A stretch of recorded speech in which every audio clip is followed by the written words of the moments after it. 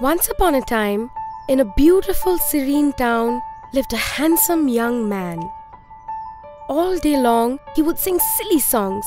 A jolly good fellow with a heart so mellow and a passion really strong.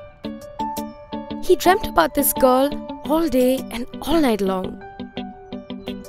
In another town not so far away, a chirpy young girl waited for her Prince Charming, handsome and tall. With a heart that sang and a head so cool, girls were jealous and boys would drool. But she had just one dream since she was in school. God heard their prayers.